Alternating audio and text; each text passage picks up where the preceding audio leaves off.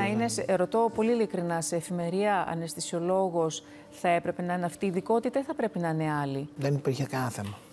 Μάλιστα. Ωραία.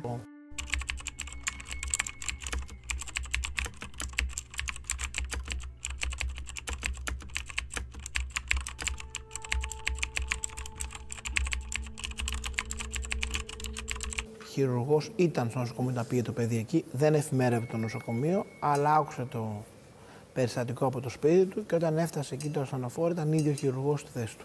Ναι. Μαζί με τον νοσιολόγο. Το παιδί δεν μπορούσε να σωθεί. Όπου μίλησα και εγώ με το νοσοκομείο. Ναι. Ε,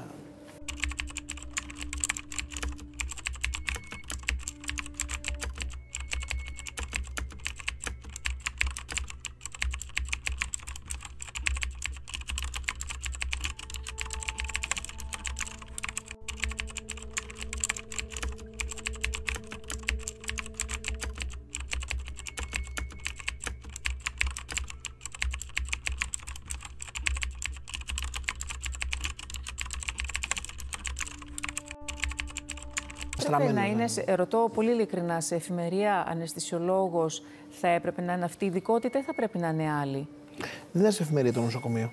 Δεν υπήρχε κανένα θέμα. Μάλιστα. Ωραία.